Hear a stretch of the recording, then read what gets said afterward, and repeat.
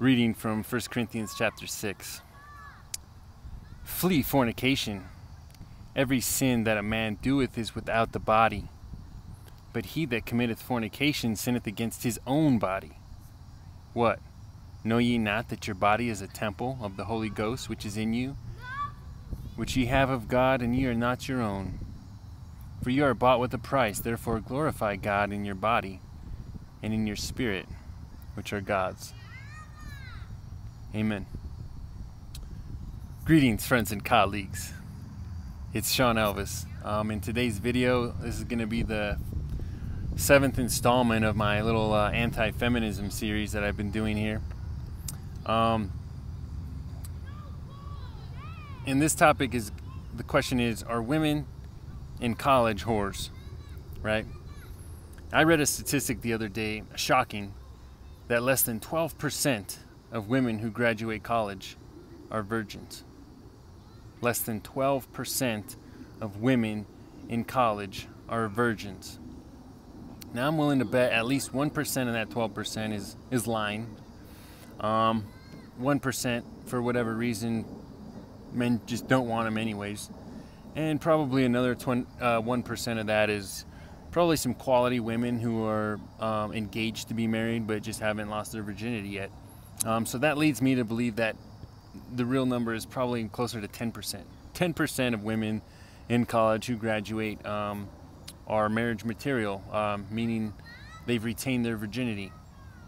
Now, I put out an article the other day on Facebook explaining why feminism is destroying marriage. You know, and I want to talk about that today and ask the question, you know, is teaching girls to go out to college um, actually good for them, or is it turning them into whores? You know, um, and I need to preface this uh, by, by defining what I mean when I say whore. You know, if you look back in my videos, I made a video where I talk about the difference between a prostitute and a whore. Um, but for the sake of this video, I'm not going to re-preach that message. Um, but you know, for the sake of this video, I'm just going to define a whore as simply a woman who uh, who loses her virginity or who, who gives her virginity away to somebody other than her husband before marriage. Okay. That that is my definition of whore. For the same reason, um, and it only takes one sexual partner before marriage to become a whore. In, um, in my definition, right? Um, for the same reason, where if you were married to a woman and she cheated on you with a man, you know, it would only take one person for you to consider her an adulteress, right?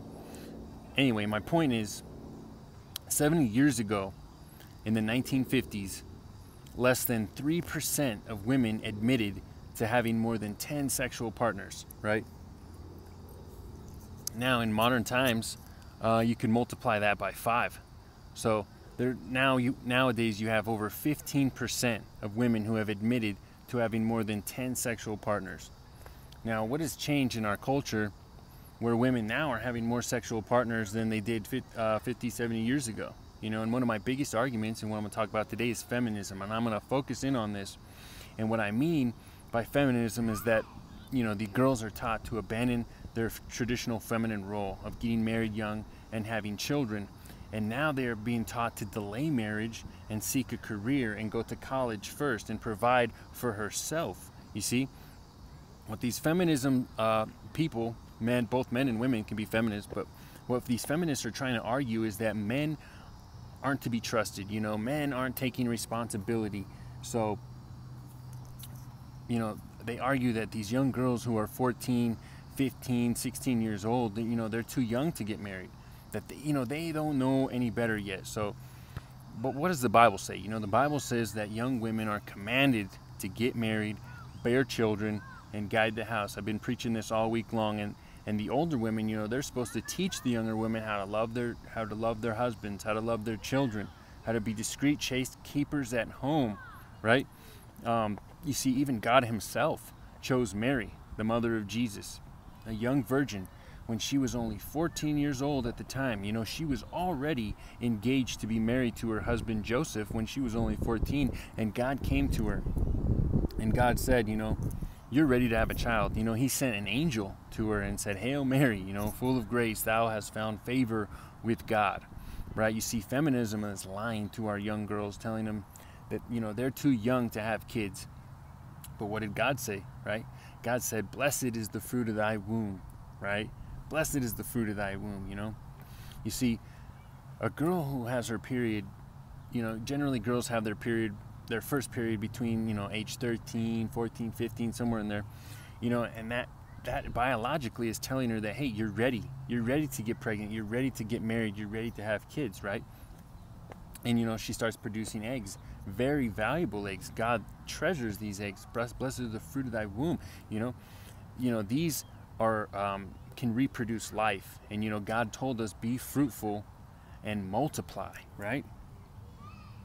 But what's happening to our young boys? You know our young boys are being taught you know don't get married to these girls. They're too young. You know don't have kids. You're too young. You know you need to wait you know waste those eggs make and to make matters even worse instead of helping our young boys succeed and become responsible men you know who are capable of taking care of a family. You know they make the young girls compete with the boys for resources you know. Um, men and women are competing for jobs nowadays and who can make more money? Who can bring home more uh, dollars to take care of the family which has always been uh, throughout history the man's responsibility, right? And then they wonder why, you know, our young boys aren't becoming responsible. You know, why aren't they taking responsibility? You know, you see, if you're going to give somebody responsibility, you know, if you're going to tell the men, hey, you're responsible to provide for the family and protect the family, you know, you also have to give them power and authority with it because with responsibility, you also have to have the respect that goes along with it because if you're if you're going to give somebody responsibility without the respect that's going to lead to irresponsibility. Let me give you an example. What i mean is for example let's say you're going to take an airplane ride right? Well when you get on that airplane the pilot is the captain right? And he is responsible for every soul on board meaning that if anything goes wrong right if anything goes wrong on that plane they're going to hold him responsible. But at the same time, with his responsibility comes respect, comes power. You know, when the captain tells you, hey, put on your seatbelt, turn off your cell phones, you do it, right? Because you give him the respect.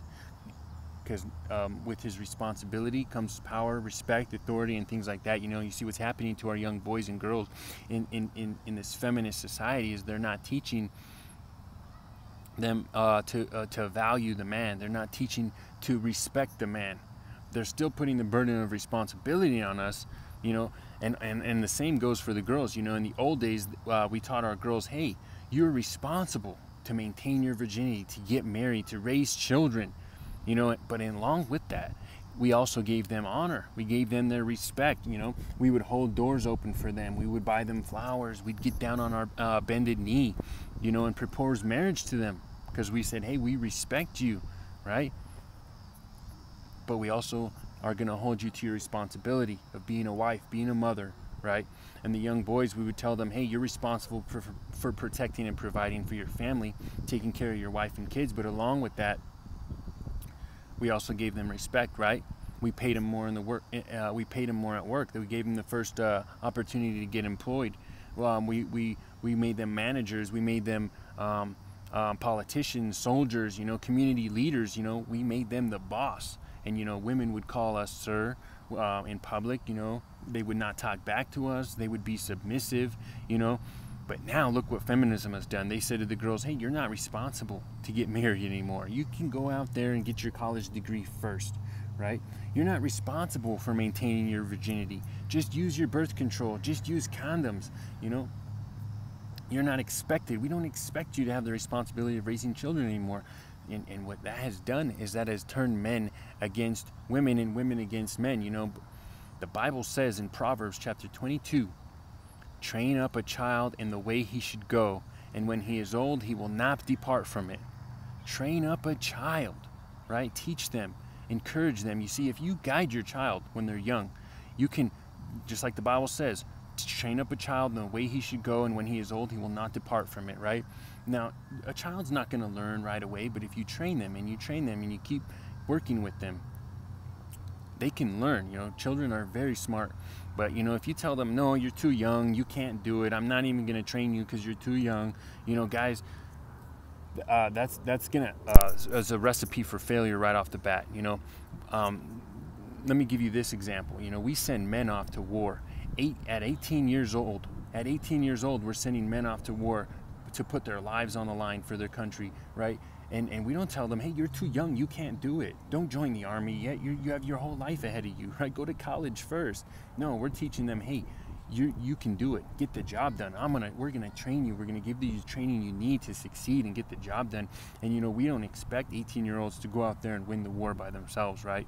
But with, with the older generation helping them, guiding them, you know, your older sergeants, your captains, your generals, you know, we can give them advice, give them support and the motivation that they need to succeed and achieve victory, you know. But you see, teaching women that hey you're too young to have a family you know you're too young to get married you can't do it well that just leads them to becoming a whore because they're saying well i can't do it anyway so i might as well just do it uh, the wrong way right do it this other way you know and, and like like for example you, t- you, you you train on these young men hey you can't do it right well that's that's going to lead them to just become lazy, become irresponsible, become the whoremongers, become the fornicators that all these women are blaming us that we are, right?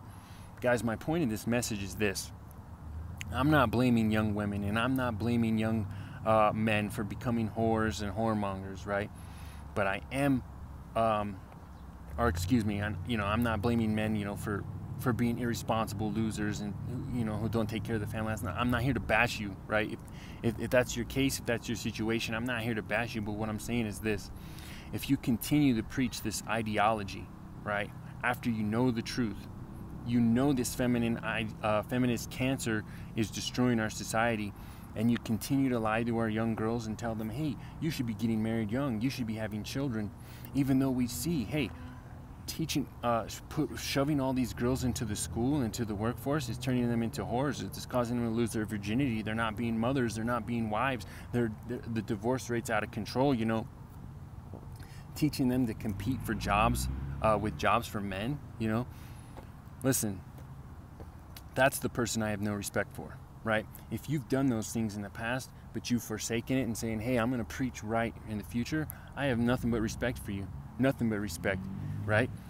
If you're a woman, you know, who lost your virginity young, didn't get married, whatever, you know, shame on you for doing that, you know, but I don't blame you because that's the way we were all taught to do it, right? So yeah, we fell victim. Shame on us. Fool me once, uh, shame on me. But fool me twice, shame, or excuse me, fool me once, shame on you. Fool me twice, shame on me, right?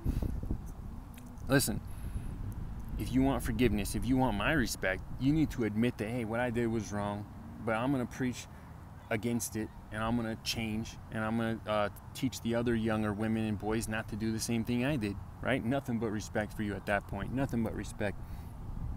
And you know, guys, I'm not here to beat you up.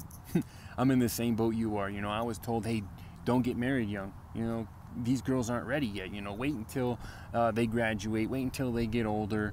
Um, just sleep around, use condoms, you know. I didn't do that, but, you know, I was lied to just the same. So I fell to the victim of um, becoming lazy, becoming a whoremonger, you know, falling victim to pornography and, and all this other stuff that I shouldn't have been doing. But, you know, the difference between me is I admit that, hey, what I did was wrong. And I'm here to train the younger boys to not do what I did. I'm here to teach the younger generation, hey, don't be like me. You don't want to fall into that victim. And I'm not going to teach you these lies, these feminist lies. You know, I'm trying to teach you to, uh, that this matriarchal society now that we have where um, women are abusing their power and their privilege, you know, that needs to be destroyed. That needs to be dismantled, you know, because you know, we're left with no choice at this point in time, right? You know, they expect us men to be responsible, but you know, they aren't giving us the respect that we deserve that comes along with that responsibility. You know what I'm saying? And they wonder why we disrespect women and call them whores when they're not being responsible, when they're not maintaining their virginity before marriage, when they're not becoming uh, young wives and mothers. Why should we respect you? you don't you're not taking up your responsibility you know so this is basically the essence of MGTOW right and don't stop hammering it away gentlemen don't stop it you know hold women to their feminine responsibilities if they aren't going to acknowledge that the young um, women who do get married who do have children who do remain faithful to their husband if they don't want to acknowledge them as, as, as being higher on a pedestal than these whores who just go lose their virginity and go get a career nah no, no respect for those. If these if these feminists continue to refuse to shame women who give away their virginity, you know, who seek after a career, avoid avoid their responsibilities. You know, we're gonna keep hammering it away. MGTOW's not gonna stop. It's not gonna end. It's gonna keep growing. We're gonna keep shaming you for the, your lack of responsibility. No honor for you. No respect for you. If you're not gonna at least even acknowledge that you have a responsibility that you need to be, um, um, you know, striving for. You know, that's all I'm asking. At least strive. You know, I used to tell my woman that. You know, at least strive to do the right way. You know, and I'll forgive you when you do wrong, but at least can we agree that this is what we're striving for? You know what I mean? This is what we should be shooting for, you know? And we're going to just keep hammering it away, guys. No respect. If you're not going to take responsibility, if you're not going to acknowledge your responsibility, no respect for you. You know, that that's that's basically the whole essence of MGTOW. You know, but but but here's my point. Here's the moral of the story. Here's the moral of my message, guys keep fulfilling your side of the bargain. You know, be the best man you can be. Take responsibility. Be prepared to uh, provide and protect for a family. You know, even if they're not going to give you your respect, you will always have the moral high ground if you acknowledge and accept your responsibility and take heed to it. Right? If these other women, they don't want to take heed to their responsibility, they don't want to follow. Um, they don't want to acknowledge that they have responsibility. Then you know what? No, no, no respect for them. Nothing but shame for them. Shame on you for not uh, taking hold of your responsibility. But you know what? We can grab the bull by the horns. You know, we can be, we can be the best man that we can be. You know. But anyway, that's my message, guys. Um, that's my message. You know, the moral of the story is keep the moral high ground. You know, don't become like they are. You know, don't give up your responsibilities and become a loser and become you know, some deadbeat whoremonger who just wants to sleep and pump and dump women. You know what I mean? Keep the moral high ground, stand your ground, and uh, we'll, we'll, just get it done. And until they start taking responsibility, um, we just won't give them any respect. Anyway, that's my message. I don't want to go too long. Um, until next time, gentlemen, this is Shaun Elvis signing off. And uh, as usual, I'm going to give God the last word. I'll see you guys later. Peace. I'm going to read from the book of Second Timothy, chapter 2, verses 1 through 3. Bible says, Thou, therefore, my son, be strong in the grace that is in Christ Jesus. And the things that thou hast heard of me among many witnesses, the same commit thou to faithful men who shall be able to teach others also. Thou, therefore, endure hardness as a good soldier of Jesus Christ. Amen.